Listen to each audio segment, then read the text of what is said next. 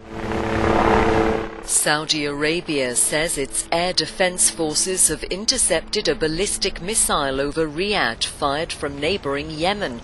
State media says it was brought down near King Khalid Airport on the outskirts of the capital on Saturday night and did not cause any casualties. Residents of northern Riyadh reported hearing a deafening explosion.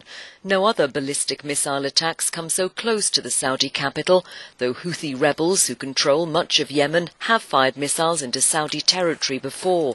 A TV channel linked to the Houthis, who are backed by Iran, said this time the airport was the target.